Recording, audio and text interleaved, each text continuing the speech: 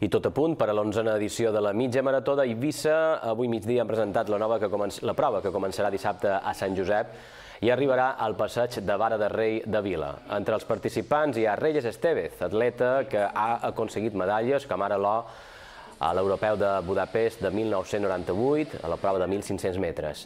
Entre els favorits, atletes marroquins, canians i l'espanyol Idias FIFA. I entre les dones, la marroquina Sana Akabar i la caniana Caroline Vivot. Thank you.